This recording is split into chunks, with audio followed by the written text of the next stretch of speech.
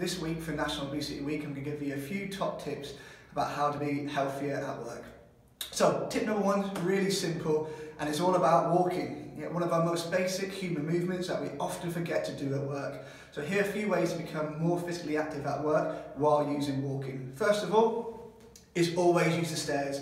No matter what, time of day, middle, during or after, always use the stairs never use the lift. Second of all, try and walk more to work. So whether you get the bus to work, get off a stop early, or you drive to work, try and park as far away as you can from the entrance. These extra few steps will make a real big difference overall over the day, the week and the months.